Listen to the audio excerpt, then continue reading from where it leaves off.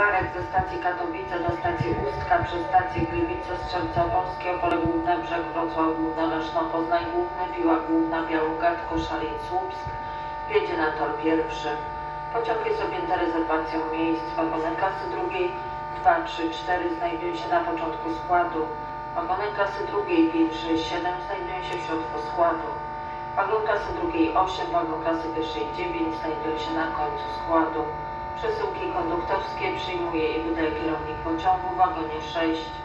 Pociąg Intercity Gwarek ze stacji Katowice do stacji Ustka wjedzie na tor pierwszy. Prosimy zachować ostrożność i nie zbliżać do krawędzi peronu.